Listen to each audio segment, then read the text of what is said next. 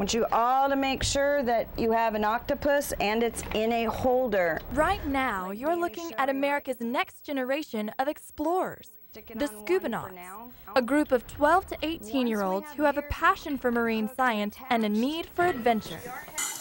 They use scuba diving as a method of gathering scientific data underwater. It's fantastic. You, we get these kids and they're enthusiastic to begin with, but we're able to teach them um, incredible marine science survey techniques that are used worldwide throughout the Gulf of Mexico, throughout the Caribbean.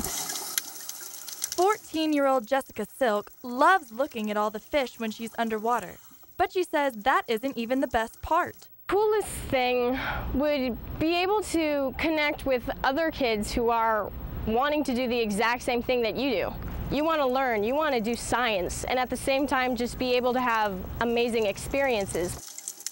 And while science is the main focus of this unique group, these kids are gaining much more from it. I'm not expecting each and every one of them to become scientists, but the general skills that they're learning are going to assist them throughout their lives. They're learning to become good leaders. These are no ordinary kids.